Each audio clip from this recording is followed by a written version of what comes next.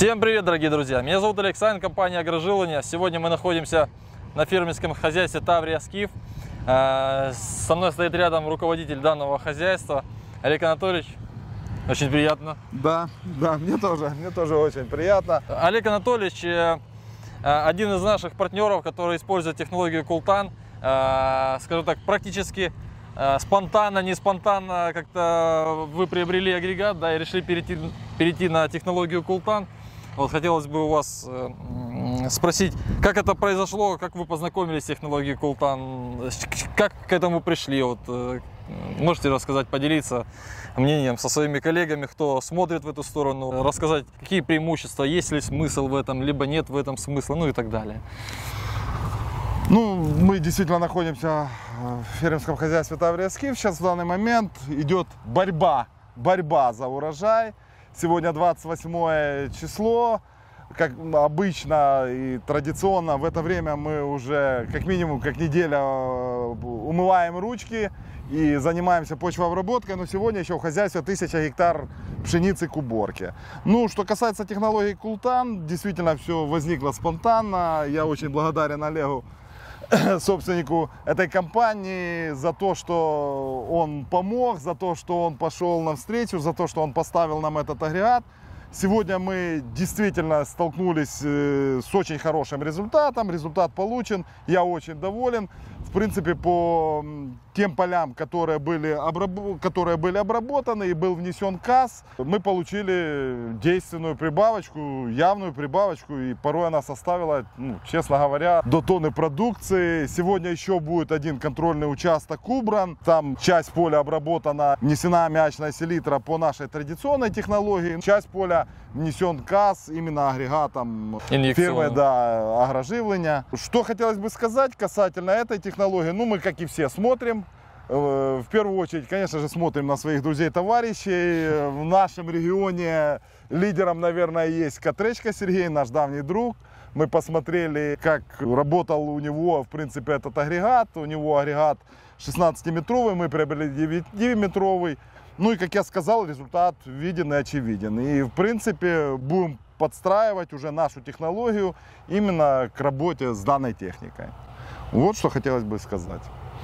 Ясно. А как познакомились с технологией Култан? Ну, у Котлечка увидели, да? Коттеджка увидели, ну и заезжали и ваши ребята, заезжали еще два года назад, тоже смотрели, присматривались. И уже когда появился опыт работы, ну он действительно положительный и очевиден, решили попробовать. Ну и скажу, опыт достаточно положительный. Отлично. Достаточно. Скажите, по агрегату, вот, э, м, вы приобрели украинско-немецкий агрегат, да, это тот агрегат, который э, сделан э, совместно с немецким предприятием КВД.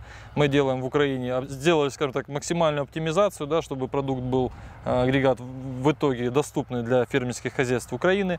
То есть мы удешевили его таким образом, что мы сделали, делаем раму в Украине, э, емкость ставим украинскую, крахимпласт из первичного материала, ну, все остальные комплектующие, их 85% ставим импортные, оригинальные.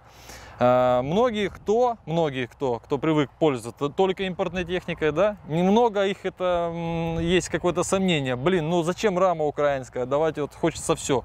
Вот из вашего опыта, как э, показала себя рама, там порвала ее, не порвала, то есть в принципе, в принципе, мы в Украине пытаемся делать максимально качественно, максимально к европейскому да, стандарту стремимся. Вот. э, Хочется с первых уст, скажем так, от практика Ну, в услышать. нашем хозяйстве действительно, да, в основном вся импортная техника. Техника в основном компании John Deere, как посевные комплексы, и трактора, и агрегаты компании Лемкен, Амазона и так далее и тому подобное. Но в данном случае мы столкнулись э, с агрегатом действительно немецко-украинского производства, рабочие органы немецкие. И, кстати, это и натолкнуло на то, что нужно пробовать.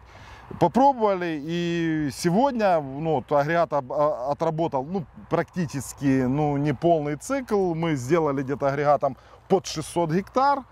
Вообще абсолютно никаких нареканий нет. Что касается там рабочих органов, ра- рамы, бочки, насосов и всего остального.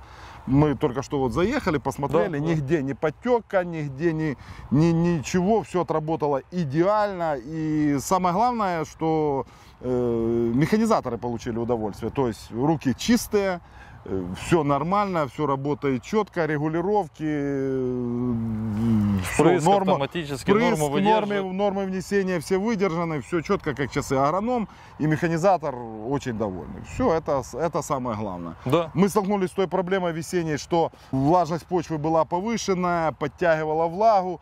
Да, может быть, с наработкой там не совсем получалось то, что хотелось, но практически ту программу минимум мы выполнили. И Ну да. самое главное, мы довольны. Ну, этот год такой, скажем так, э, аномальный в хорошую сторону, да. Э, Достаточное количество осадков Укра- Украину порадовало. Но иногда были затруднения. Не только у вас, да, с работой, весенними вот этими полевыми работами, да, когда переувлажненный грунт. Такая проблема есть, но от этого никуда не деться. Да, да спасибо вам спасибо большое. вам огромное за Спасибо, да. Все, ребята, всем пока. С вами была компания Агрожилання. Компания Агрожилання, жилення рослин без азоту.